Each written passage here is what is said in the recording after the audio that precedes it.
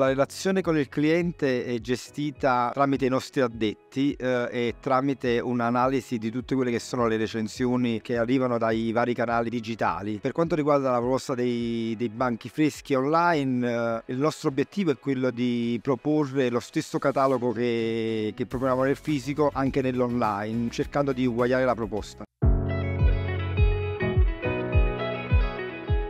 Io nel futuro vedo nel sud Italia una concentrazione delle, dei poteri decisionali, eh, vedo un futuro con meno attori e con meno centri decisionali. Con l'avvento del discount eh, ci sarà per forza bisogno di unirsi e di, eh, di fare massa critica eh, da parte dei distributori.